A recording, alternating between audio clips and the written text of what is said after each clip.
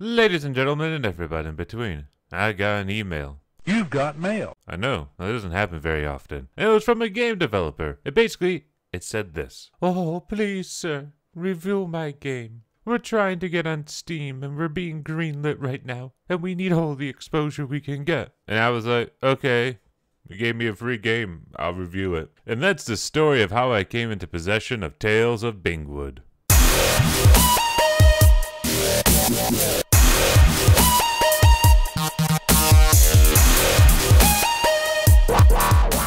Huh. Well, I had no idea they had music like that back in the early 90s. In particular, 1993, because that's when development for this game began. It was originally planned to be for the Amiga computer, but then the whole Microsoft monopoly put a stop to that. Nevertheless, 15 odd years later, the game's released in 2008, to little to no fanfare, although it does have a walkthrough on GameBoomers, so that counts for something. Eight years later, the developer wants to take another stab at commercial success for this title by re releasing it on Steam. So, with all that said, folks, let's check this puppy out. Oh no, there's black bars there. Yeah, this game runs in a 4x3 resolution, in particular 640 by 480. The classic resolution of a lot of games in the early 90s. But here, let me stretch that out for you and your widescreen eyes. Is that better? So anyway, what we're looking at right here is the mandatory tutorial sequence. Uh, I know, a mandatory tutorial sequence in an adventure game. Although, it may be a little bit necessary. After all, this game does feature a rather retro interface. You got the whole look, touch, walk, grab icons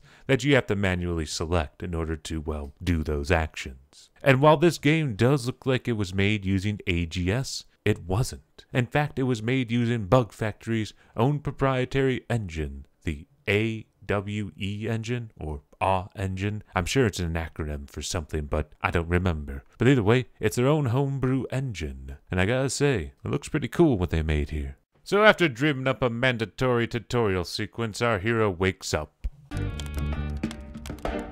Huh? What? Guess it's time to get up. You know, I'm pleasantly surprised that this game is fully voice acted. That's something I absolutely did not expect. Also, I do dig the pixel art in this game. It looks different. It looks Amiga-y, if that's even a word. But anyway, our hero gets dressed and begins to advance the plot. With the blessing of their majesties, the king and queen. What's going on? What did I miss? You should have been here in time. The royal proclamations are always proclaimed at midday. Yeah, well, my alarm didn't go off. Uh, yes, this kid has a little bit of that early 90s tood in him. Who are you, anyway? My name is Tom. Tom Brandt Driftwood. Driftwood? Why does that sound familiar? Mm-hmm. They're very subtle there, game. Yeah. Tales of Bingwood is chock full of references and punny names. Not that there's anything wrong with it, it's just what it does. But anywho, after meeting a bunch of characters that we're going to meet throughout the game, we are told what the hell this game's about. It's Princess Liliana. What? She has been nabbed by the evil wizard. And of all the days, it's the king's and queen's anniversary. It is quite peculiar. I know who's ever heard of an evil wizard kidnapping a princess. Apparently not our hero, because this news is so shocking to him that he proceeds to black out. So our hero boldly passes out into chapter 1. And the game's done a good job of establishing what we're gonna do. Or as our hero puts it, Blah blah blah. Blah blah. Blah. Save the princess, and get the reward. and the reward is your typical fairy tale stuff. Our 12 year old boy here will get the princess's hand in marriage. And no, she does not get a say in the matter. She's property of her father, after all. And speaking of property, the boy will also get half the kingdom, which sounds like a terrible idea. After all, that's how you end up with places like the Holy Roman Empire. So anyway, now that we got our vague main quest out of the way, let's go ahead and play this game. And who would have guessed that a game that began its development in the early 90s plays like a game that was released in the early 90s? And what I mean by that is that this game has a bit of an open world structure in the sense that you're not really given any direction. You kind of just have to find stuff, then do the stuff, and all that stuff builds towards your main objective, even though it doesn't seem that connected to it. But it is, somehow. It's hard to describe, But to say the least, if you want any success in games like this, you pick up everything that isn't nailed down, and you talk to every character. And in some cases, the characters will give you some direction. Actually, I've no idea as to how to rescue the princess. Hmm, the wizard lives somewhere beyond the shady forest. That's where I would be heading. Shady Forest? Are you serious? I'm sure you'll do well, lad. Alright, I have no idea where the shady forest is, but it sounds shady. And apparently our hero doesn't like the sound of that, so it must be kind of sinister. So now we have a clear objective. Figure out how the hell to get to the shady forest. Once I can figure out where the hell that is. Hmm, maybe this random map I find will help us. Oh hey, this game has a quick travel system. So I imagine that means we're going to do a lot of backtracking. But hey, at least I found the way to the shady forest. Although, as you would imagine, it's not as simple as just walking through this gate. Open the gate! I'm on an official princess rescue mission. No doubt you are. Nonetheless, the gate stays closed until the toll has been duly paid. And of course, the toll is an insane amount of money. And this kid has no money, because he's just a fisherman's son who wants to be a pirate. Although, short of the game's own description, he never really brings that up while playing. He just seems to be a fisherman's boy who's going to save a princess. Hmm. I can see why maybe their marketing department wasn't so great at BugFactory. And the same goes for this poor old dude's gatekeeping skills. All we gotta do is walk around him to get past him. Whoa! The bridge! It's really gone! How am I supposed to get the shady forest now? I don't know. We talked to the construction workers and they're like, yo, the evil wizard blew it up. We can't really do anything about it, so we're just hanging out here. And by the way, we want some lunch because we're hungry. Anyway, from this point on, I just began to fill out the map and talk to every character I encountered. For the most part, they're all fine, the characters. They serve to help our protagonist. They're not exactly fleshed out or anything. There's nothing really wrong with that. They're all pleasantly cartoony, and yeah, you can obviously tell the same voice actor was used with a lot of these characters. Another valued customer. If it isn't my favoritist fisherman's boy in the village, Anywho, I wandered across the map for a while, found a hermit on the top of the hill. How are you this fine day? I'm fabulous, thanks. How are you? In case it was too subtle, I was being sarcastic. Yeah, his audio seems a little bit odd, but speaking of odd sounds, listen to the stuff that's coming out of the inn.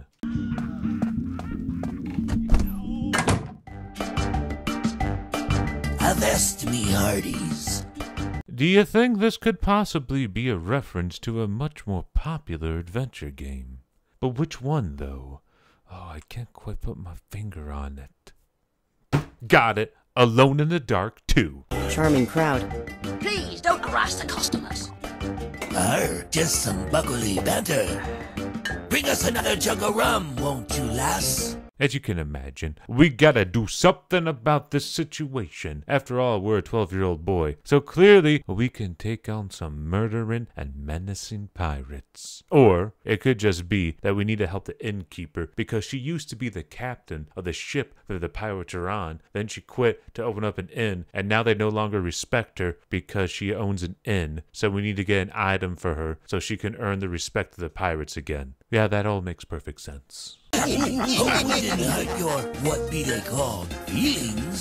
Weird how quickly these pirates lost the respect for their former captain. It's strange. But anywho, she gives us a treasure map that we need to follow to dig up her buried treasure, which I guess will prove to these pirates that she's still a badass. Okay, makes perfect sense. Let's go to Treasure Island and check it out. The map has several lines of instructions. Starting from the rocks. Let's see. Take three steps west. One, two, three. What's next? Oh no! Ah, crap, now what we're gonna do. Surely not just click in the middle of the screen with a shovel and see him uncover the whole island. Hey, that's a practical solution to a lost map. The shovel just hit something! Let's see. It's the chest! Well, I'd better put all this back then.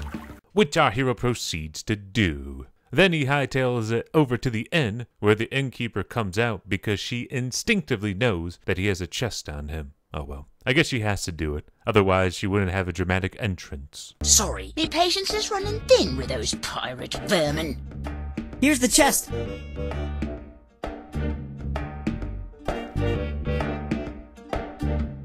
Thanks, this should do it. Would you mind turning around for a second? No problem.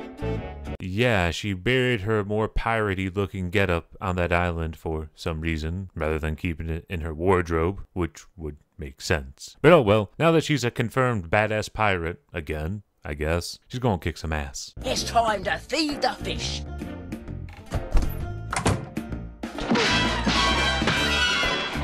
Skewer your gizzards, you parent-loving sea dogs. Prepare for your doom, you lily-livered kraken spawn. I'll hang you by the gibbet, you pox-faced swines. I'll cut you in pieces, you yellow-bellied blowfish.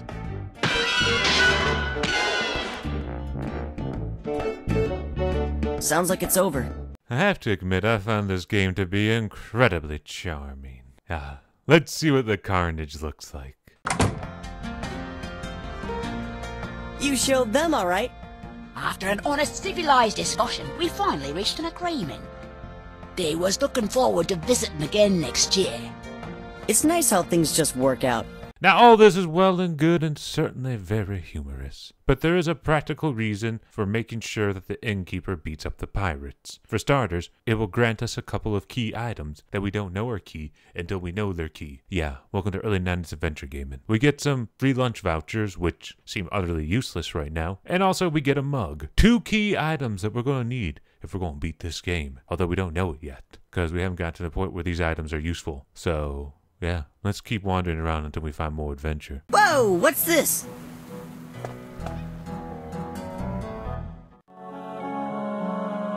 It's total darkness.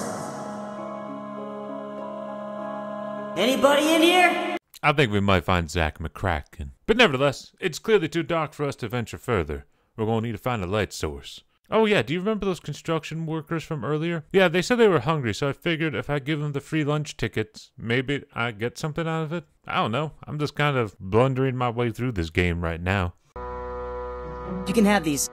Hey, thanks. Very generous of you. Oh my god, that's a terrible Cheech Marin impression. But anyway, they leave now, and I dig a hole in the ground. I have no idea why I'm doing this. I need to find some direction.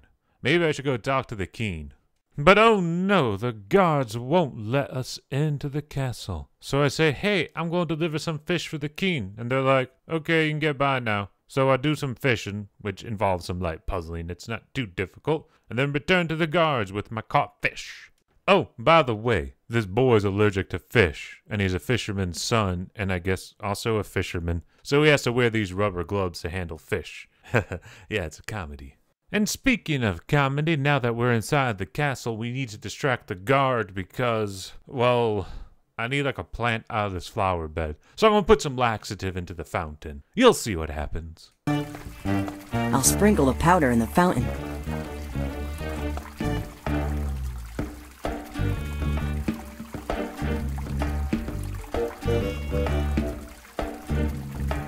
This armor is so hot. I need a drink.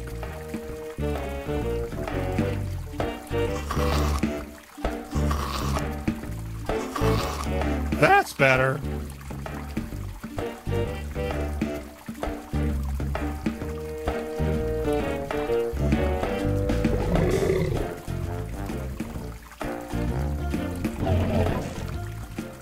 Oops. Gotta go.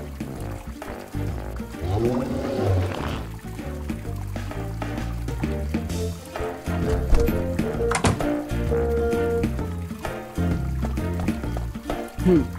Now that I think about it, I really don't need them. No, but we need these purple flowers over here for reasons that will become clear later. But still, we need to talk to the king because the king's going to fill us in on all the major plot points. Go on through. Tom Brad Driftwood, the fisherman's son. Oh, what a fancy effect. Well, I heard about the kidnapping. and I would like to help in any way I can. That's very nice of you, Tom. Yeah, Queen, you sound so damn sincere. Well, anyway, the king's floating up in the sky because, well, how about he just explain the story to you? It was at the breakfast table when I first knew I was in deep trouble.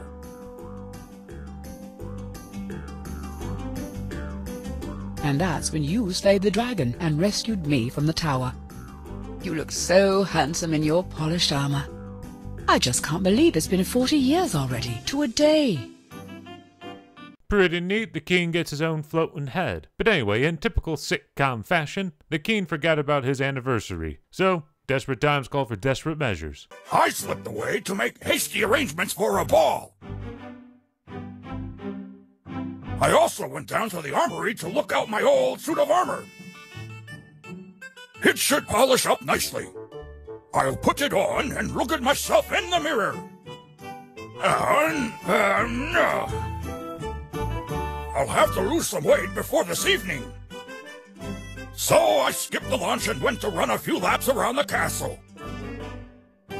Needless to say, it didn't work out. So that's when he called for the evil wizard because he didn't want to wear a corset or just get a bigger pair of armor. Oh well. I need to lose weight before this evening. I can do that for a thousand gold crowns. That is far too much. So they go back and forth for a while, and eventually some magic shenanigans ensue. Very well.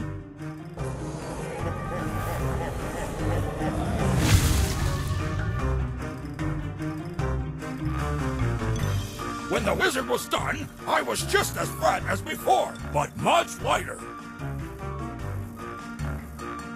The task is done. I have removed all your weight. And now, the matter of my fee?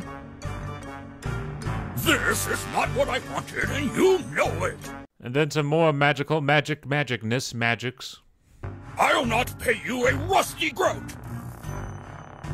In that case, I'll just take my payment myself.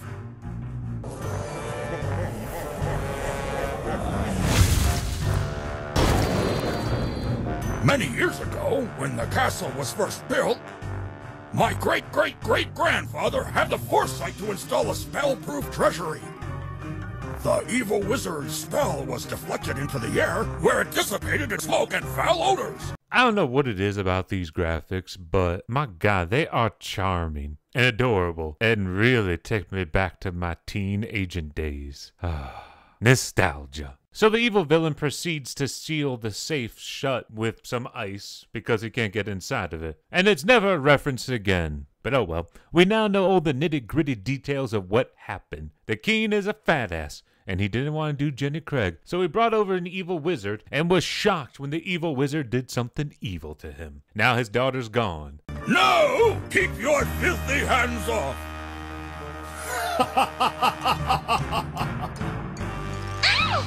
This will cover the payment I require.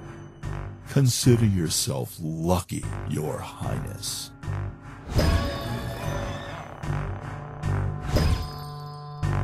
Well, now that we know all the nitty gritty details, we can proceed to try to solve more puzzles and hope they connect to the overarching plot. The water flow stopped. The cement must have clogged the pipes. All I need is some fine-grained sand to complete the mixture. Yeah, we're vandalizing this fountain for an item. This should do it.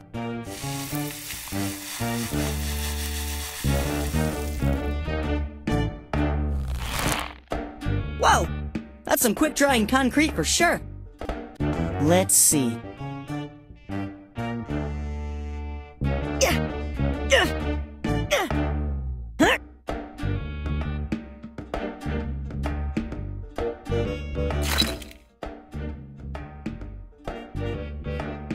That didn't sound too good.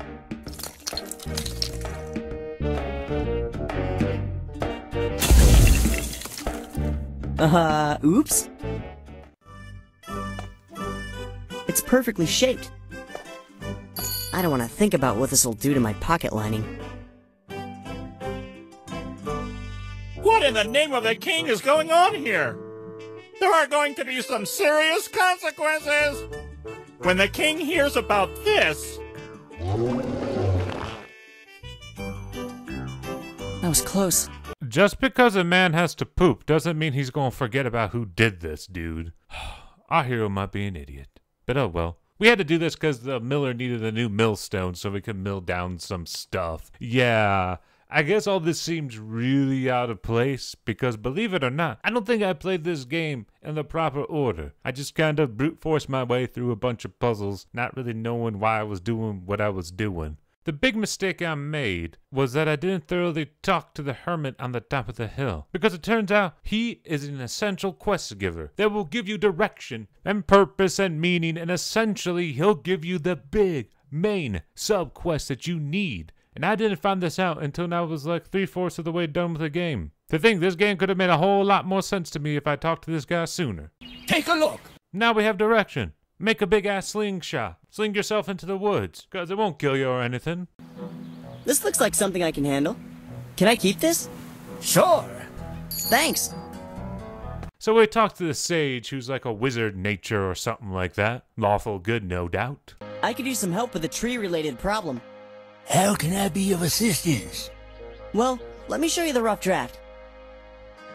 Only thing is, the spot where this contraption is needed is devoid of trees. I see. Perhaps there indeed is something I can do. If you don't mind locating some ingredients for me. All right, welcome to the rest of the game. It's just find a bunch of items, throw it into a pot, and then build a slingshot. Well, this makes a whole lot more sense. And fortunately for me, by this point in the game, I had already acquired the majority of the items necessary. There was just a few things here and there that I was missing. So one of the things I was missing was an encounter with a hobgoblin which is an excellent band name. But it turns out Arnie the Smith knows all about hobgoblins. So we have a lovely chat with him. About the hobgoblins.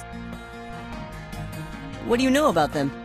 everybody knows they love gold and hate iron. So Arnie proceeds to make us a talisman that's going to ward off goblins, which is going to be very convenient once we encounter a goblin, which we do on the beach, rather by happenstance. But as you would imagine, there's a step before we meet the hobgoblin that I'm overlooking. In particular, the fact that we need to get some bellows for the smith. Well, we just can't up and buy them because we got no money. So instead, the shopkeeper's like, yo, 12 year old, go rough up this chef who owes me money. And of course, the chef doesn't take us seriously. But the moment we put on some funny glasses, he thinks we're a grown ass man and forks over the loot. Excuse me. Huh? Who are you? What do you want? I is here to collect the fee for exotic spices. That would be 20 silver crowns, thank you. Ah, I see. I was just on my way to see Angus personally. But you have saved me the trip.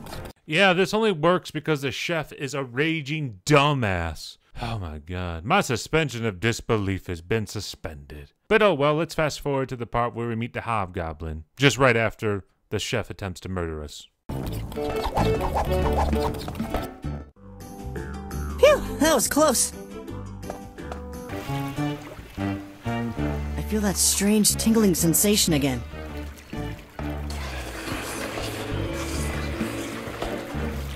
Whoa! How could I have missed that path into the forest before? Yeah, that's a path to the hobgoblin's house. I don't know if you need the talisman in order to open it or not. But sure enough, we encounter a hobgoblin as soon as we give it a fish, because that's what hobgoblins eat, apparently. Hmm. I was expecting a bit more. Achoo! What was that? Blast it! You were so close to doubting and giving up. I suppose it can be helped now. Wow, you're an actual hobgoblin? Yeah, yeah. What be the big deal? Well, the big deal is we need a piece of his house, but the hobgoblin's not going to give up the goose without us solving some riddles. Which I don't solve because I don't think they're solvable. So instead, more direct action is required.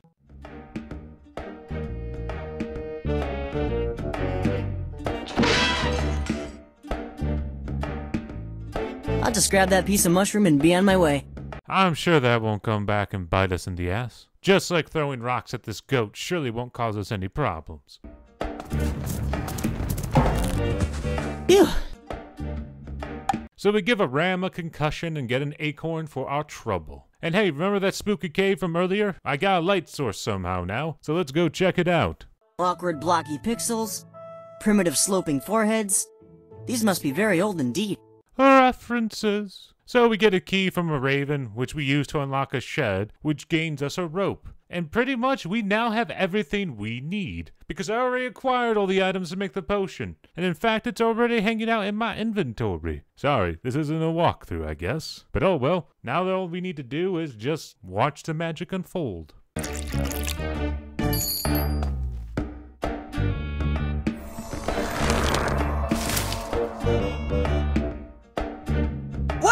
Now that's impressive. Oh, if you think that's impressive, you're in for a treat. Yeah, this is just what I need. All of a sudden, I'm feeling a bit nervous. Ah! It's so beautiful up here!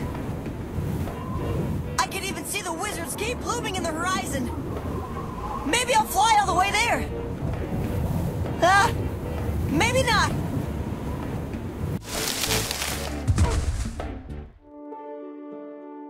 And he's dead, which is why there was never a chapter 2. Oh, no, he's fine. Maybe. I don't know, it's kind of vague. That wasn't so bad. I'm still in one piece at least. Yikes! That's me lying on the ground!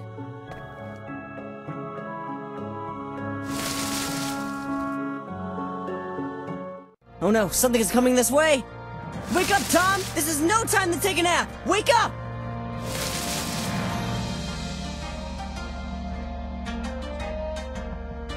To be continued for eight long years. Well, eight years plus now, because unless this game sells well on Steam, there may never be a chapter 2. So Tom here will remain in purgatory forever. We'll never know if he lives or dies. We'll never know if he gets the princess. And yeah, that does it, ladies and gentlemen, and everybody in between. What do I think about this game? It's fine. It's an early 90s game. Nothing wrong about that. The plot's not the most intricate. It's really all about the puzzles here, which is why I edited the majority of them out. It seems like I'm just going to give up the goose if I explain every puzzle. And also, that's the fun of this game. You just wander around this map, find puzzles, solve them, and you can safely assume that every time you solve a puzzle, you're going to work closer towards your goal. Although I do admit this free flowing design choice kind of led me to go without guidance for a good chunk of the game, but I still had fun. I still enjoyed it, and I think if this game's on Steam for under $10, I will gladly pick it up and gladly recommend it because it's a fun little adventure game. If you liked early 90s adventure games, you should adore this. And if you don't, well, then maybe this game's not for you. But nevertheless, ladies and gentlemen, and everybody in between, that does it for me. If you want to help this game get on Steam, there's links down below.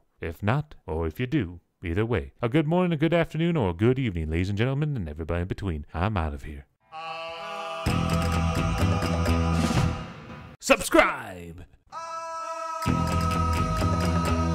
Subscribe!